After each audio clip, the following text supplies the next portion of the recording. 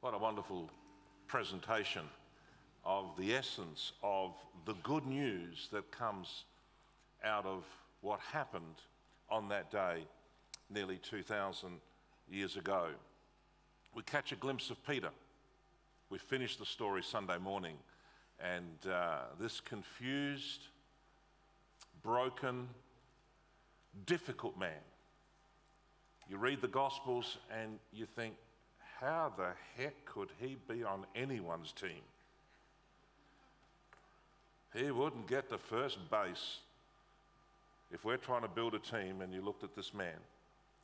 And confused, broken, difficult, impetuous, um, making promises he can't keep, and yet uh, in that confusion, in that brokenness, Jesus reaches out to him and he experiences the grace, the free, unmerited favor of God. That's what grace means free, unmerited. I can't earn it. It comes from him, it's not cheap. It's free but not cheap because it costs the life of his son.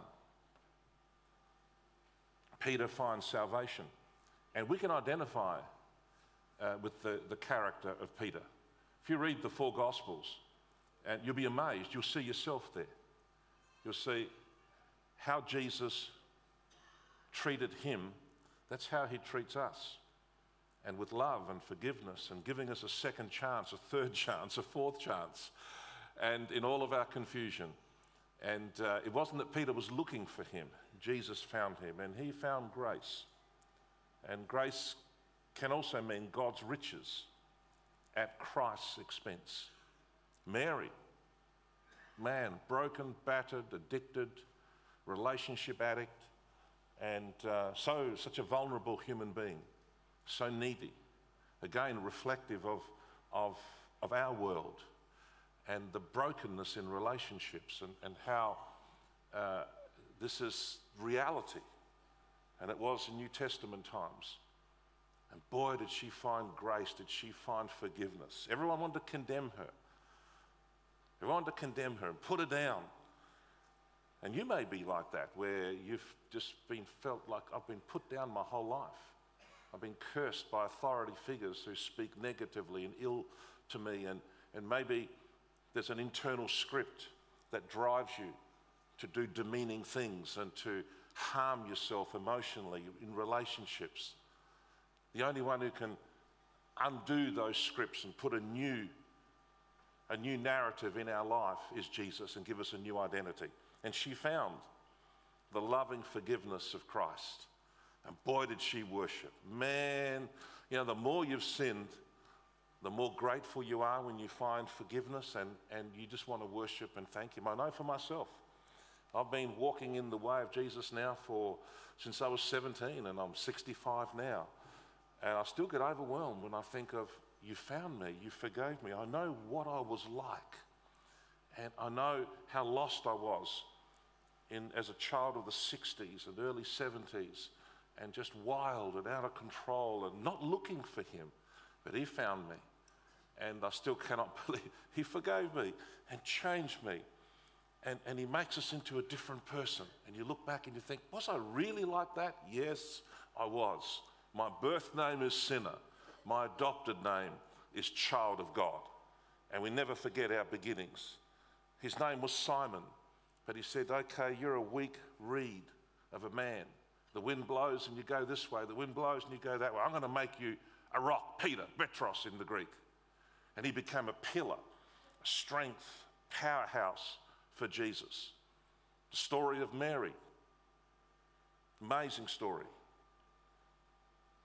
It's been repeated, repeated, repeated for hundreds, for thousands of for, for years, and millions of people have been empowered and encouraged by what she found through Christ. And then the thief on the cross. I mean, I still, I, you can't make this story up. That's what I found. You, you can't make, you, you read the four Gospels Matthew, Mark, Luke, and John, and half of them have to do with the final week of his life and you read the stories, and you can't, it's impossible to make it up. It's like the, the, the, the ring of authenticity. It's like God's love letter to us. And here he is, dying in our place, and he was, it was a wretched scene. We sanitize it, but they used to crucify them stark naked to shame them. He was beaten and abused and tormented, and all the weight of the sin, the guilt of, of, of the sin of the world came upon him. And even as he's on that cross, he finds something that he could say to the Father, Forgive them because they don't know what they're doing. They're ignorant, they don't know what they're doing. And he says, Father, forgive them. And then that thief on the cross. And Jesus didn't say to him, Mate, you can't get into the kingdom of God unless you do certain things. You, you, got to get baptized in water to start with. And we believe in water baptism. He didn't say, You better get off the cross and get baptized in water. You better start paying some money into, into my kingdom. He didn't say that. He didn't say, you, you better start doing some good things. He says, No, today, this day, you'll be with me in heaven. Because he saw in his heart contrition and honesty and humility. And, and, and there was love in his heart for the Saviour. There was humility of, of acknowledging his own sinfulness and wrongdoing, whereas the other guy didn't. And Jesus says, Mate, this day. So he's on the cross, dying, and he's thinking of others. He's thinking of his murderers. He's thinking of his mum. And, and he talks to John and says, John, look after her. And a, and a man who's dying next to him. What a savior! What a savior! What a forgiving, loving, gracious God. God is not into condemning us, He's not into pointing out our sins. He actually, we point out our own sins. We know our failures, we know our foibles, we know our mistakes. And in the quietness of our own heart, none of us have got it together. We're all sinners. And one sin's not worse than another. We're all sinners and, and, and we're all destined for damnation. No one is good enough to earn the grace of God. But the good news is that God Himself paid the price. He paid, He, took the rap for us. So love drove him to the cross. And it's true what that thief said. He could have, Jesus could have commanded 80,000 angels to wipe out the Roman Empire and to set up his kingdom now, to be a kingdom of force and power. But he says, No, my kingdom is not a kingdom of force and power. I'm not into power, palaces, prestige, because my kingdom's a kingdom of love. I, I, I want to win people over because they see the truth of what I've done. They see God's love. It was God's love that held him on the cross, love for us. People think the Romans killed him. Hey, God somehow worked through the Romans, and yes, they put him to death, but he could have lived three or four days. He was a strong man. And the centurion, when he looked at him and watched him, and Jesus at the end, he just said, after he forgave the world's sin, he just said, Father, into your hands I commit my spirit. Just goes, shoo, and he dies. He chose to die. He gave over. And, and so he predicted this. He goes, No one can put me to death. I choose to die and I choose to rise again, that we celebrate on Easter Sunday. And so he dies in our place. And the Roman centurion nearly flipped out. He goes, Man, I, I see people dying all the time. He's a strong man. He could have lived for, for, for three or four more days. And he says, Surely this is God in human form. Surely this is the Son of God. He himself was touched. Everyone at that time. And here on this Good Friday service, each of us has a story. Each of us is unique. Each of us is loved by the same God who sent Jesus, his son. He loves you deeply. He knows you better than you know yourself. And the greatest thing that he can that, that can happen to you this Good Friday is that you would respond to his offer of love. Like Peter crying out, given a second chance. Like Mary, who had been out of control in her relationships and caused such damage to herself and others. She found grace. Like the thief on the cross, you can be restored, you can be forgiven. It'd be wonderful for us now to conclude this service with us responding to Him. You're here because you're not a God hater, you're open to Him.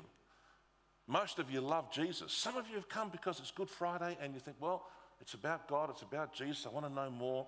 You know, the risen Christ is here among us through his Holy Spirit. And, and we're going to f- seal this time of, of, of celebration by taking the communion together. Because just before he was crucified, he instituted this and said to his disciples, Guys, I want you to do it as often as you can because this little ordinance, this little symbolic gesture that the church embraced speaks so powerfully of the cross and what he did. A little biscuit, bit of wine, represents my body, represents my blood. When you eat and you eat it, so it becomes part of you. Becomes, it, it, it becomes part of your, your life. It's a symbol of faith. So to, to be a genuine Christ follower, it's embracing Him, it's putting your trust in Him, it's imbibing Him into your life. It's having a personal relationship with Him where He lives within you. And we're going to take the Lord's Supper, and, and I want to just encourage us to respond to Him in love, in worship. Maybe you've never received Christ as your personal Savior, and this Easter will be the day of decision for you. This will be the, the moment where you can say, you know what, I knew about Him, but now I know Him. Uh, I, I, knew there was a God out there, but now this God can come and live within me through the Holy Spirit because now the sin has been removed, my sin has been forgiven, and God now can come and dwell in my body. This is amazing. This is amazing good news that God wants to live within us. And it's possible when our sins have been forgiven and we respond and receive Christ, as Peter, as Mary, as the thief on the cross did. So if you're visiting here at the Christian Family Centre, I encourage you to take the emblems. You might say, oh, I'm not really a, you know, I'm not a member of the church. Hey, it, it's not our church's ordinance, it's Jesus' ordinance. He's ordered people to say, do it as often as you meet together. Remember me. So as we, so, so I welcome you to, to embrace it. And maybe for some of you, it'll be the moment where you say, you know what, I'm going to eat and drink this, and I'm going to say, Jesus, come into my life. As this bread and wine's coming into my body, Jesus, through your Holy Spirit, come into my heart, into my inner life. I want to know you. I need you. I'm like Peter. I'm like the woman. I'm like the thief. I, I, I need you to be at the center of my life. And he will respond to your heart's cry, just like he did to the thief on the cross. So I invite you to, to take the emblems. If you want to let them pass you by, that's fine. No pressure at all. But this is a time where we can respond this Good Friday 2019 to the living Christ who died for our sins to reconcile us to a perfect God. We're imperfect, He's perfect. We're sinful, He's sinless. We can't, it's, it's an impassable chasm between perfection and imperfection. The cross is the bridge by which heaven and earth meet through someone dying in our place. And as we go through our understanding of what the cross accomplished, God accepts us and forgives us. And we can look into his face and he smiles at us. He's not angry. He's not a God of judgment. He's not angry with you.